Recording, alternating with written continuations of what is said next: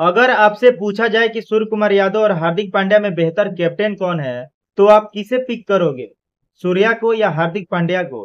क्योंकि मुझे ऐसा लगता है कि सूर्या हार्दिक से एज ए कैप्टन भी बेटर है और बैटर की बात करें तो हार्दिक पांड्या का कंपेयर ही नहीं बनता सूर्य कुमार यादव से क्योंकि सूर्य कुमार यादव टी ट्वेंटी में नंबर वन प्लेयर हैं। बात तो सही है। और सूर्य कुमार यादव की कैप्टेंसी की बात करें तो सूर्या ने अब तक दो सीरीज़ में कैप्टेंसी की है और दोनों सीरीज़ इंडिया को जिताया है। और इस बार तो श्रीलंका को श्रीलंका में जाकर व्हाइट वॉश कर दिया। जलवा है हमारा।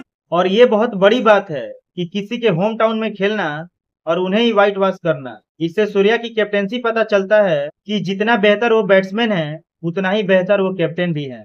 और इस सीरीज़ में सूर्या ने कैप्टेंसी के साथ साथ बल्लेबाजी भी कमाल की की है।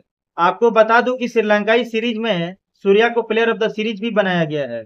इसीलिए मैं बोल रहा हूँ कि सूर्या बेटर देन हार्दिक, क्योंकि आपने हार्दिक पांड्या की कैप्टेंसी देखी है। और आपको पता भी होगा कि Hardik Pandya as a captain India के लिए कुछ खास नहीं किया यही वजह है कि सूर्य कुमार यादव को टी ट्वेंटी का कैप्टन बनाया गया है।